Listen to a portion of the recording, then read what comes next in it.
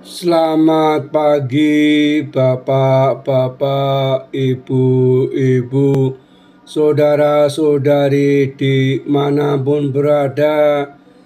Shalom berkat dalam.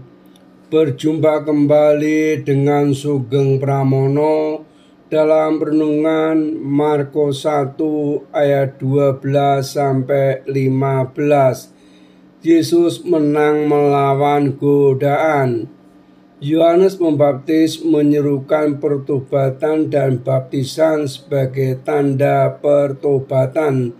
Namun pembaptisan Yesus bukan merupakan tanda pertobatan. Yesus tidak berdosa karena itu sebenarnya beliau tidak perlu dibaptis pembaptisan Yesus menandakan bahwa beliau